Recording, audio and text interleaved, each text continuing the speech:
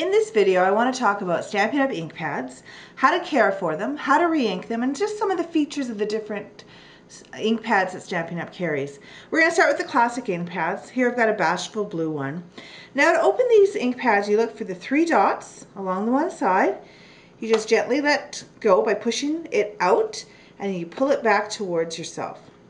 Now you'll notice that the ink pad's always stored upside down, so you've got the freshest ink on top.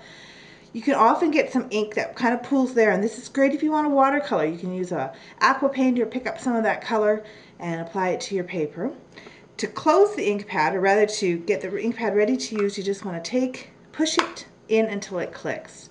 Now to care for your pads, because these pads do have a fabric top on them, you want to actually take and cut off any of these strings that are hanging out. So sometimes these threads will get outside the ink pad themselves and that may cause it to leak. So just take and cut those off. And then to re-ink them, you just want to take your re-inker and really just scribble on the top of your pad. So just scribble back and forth, let it soak up that ink. Let it sit for about a minute or you will get those ink lines on your stamp. And then if it's still not uh, re-inked enough, you can go over it a second time.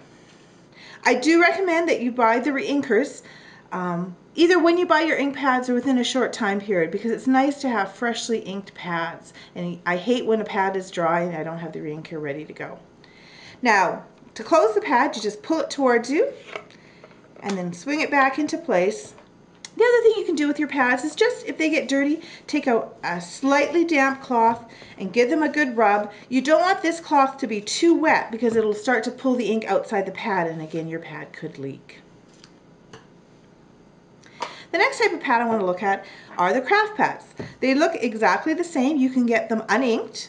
Uh, this one has already been inked, but when you get them uninked, you'll notice that these are a little different in that they don't have a fabric top, they have a foam top on them. So to re-ink a craft pad, what you want to do is, again, you kind of need to give it a little bit more push from your re-inker, and you need to use the nozzle of your re-inker to work that ink into the pad. So you've got to actually do a little bit more physical labor for this one.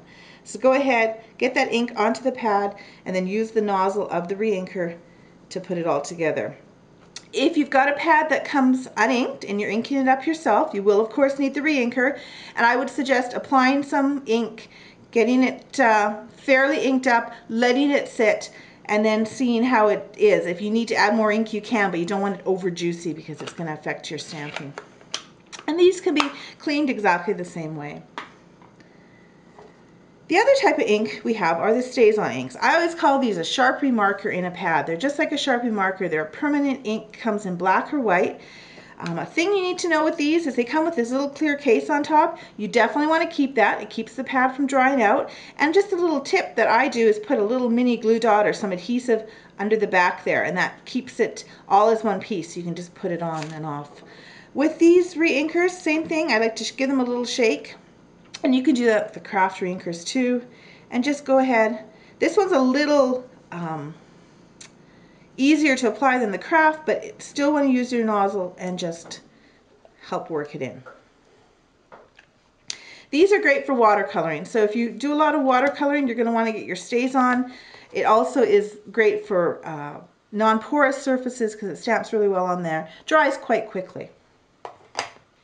And finally, we have the Versamark pad. This is my favorite pad for embossing, but it actually was developed as a watermark pad. So it gives a great tone-on-tone -tone effect to paper. So when you stamp onto paper, it just gives a slightly darker effect. So it's really quite neat that way. But again, I like it really for um, embossing with the embossing powders.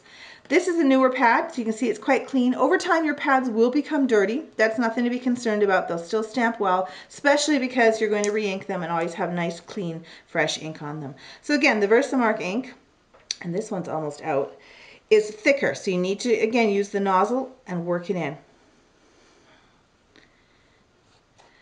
I hope you've enjoyed this tutorial about the different Stampin' Up! inks and how to take care of them and maintain them. If you have any questions, please let me know. Thanks.